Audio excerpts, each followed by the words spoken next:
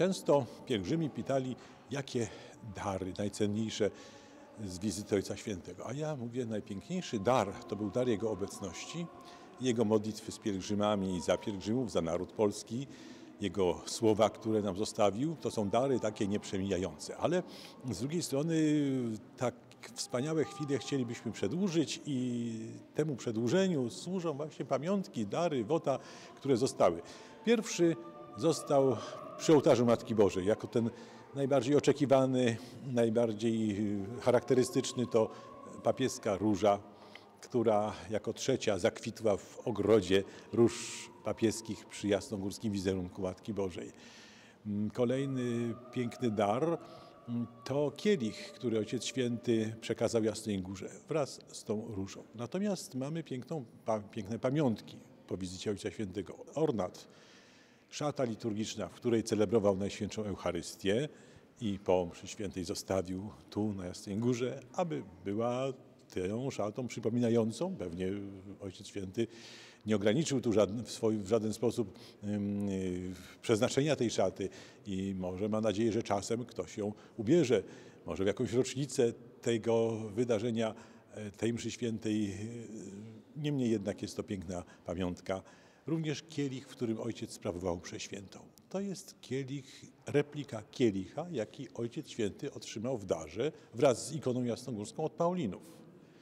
W jednym, jeden otrzymał sam, drugi, w którym sprawował mszę świętą, został tu na Jasnej Górze właśnie bardzo konkretna pamiątka.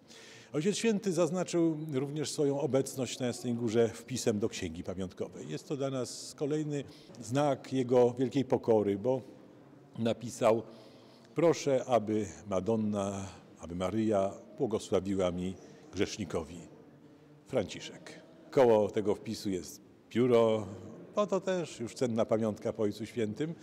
Jedną z ważnych pamiątek tego dnia jest przekazany przez prezydenta Rzeczypospolitej, pana Andrzeja Dudę, egzemplarz Pisma Świętego, pięknie oprawiony, bogato zdobiony, z dedykacją, że właśnie na ten dzień, na tę uroczystość to Pismo zostało, Pismo Święte zostało ofiarowane tu Jasnej Górze.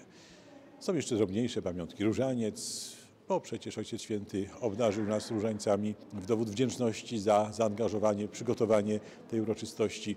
Jest również medalion arcybiskupa Fizykieli, który odpowiedzialny jest za pielgrzymki papieskie.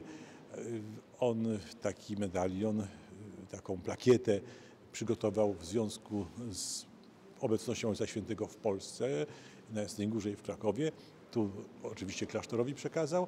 Także medal wybity specjalnie na okazję obecności Ojca Świętego na Jasnej Górze z wizerunkiem Matki Bożej Częstochowskiej. To takie bardzo bezpośrednie wota, yy, pamiątki, one rzeczywiście dla każdego, kto przychodzi, przypominają o tym wielkim, ważnym dniu modlitwy naszej dziękczynnej za 1050-lecie chrztu pod przewodnictwem Ojca Świętego Franciszka. Tak spodziewamy się, że jeszcze ten sezon pielgrzymkowy na pewno do końca miesiąca, ale myślę, że dłużej, bo wrzesień jest też miesiącem bardzo licznie odwiedzanym przez wielu pielgrzymów. Takie duże zjazdy, więc okazja, aby, aby przedłużać te uroczystości, aby ci, którzy nie mogli wcześniej stanąć tutaj, mogli dzisiaj jakby zakosztować tych chwil, które przeżywaliśmy.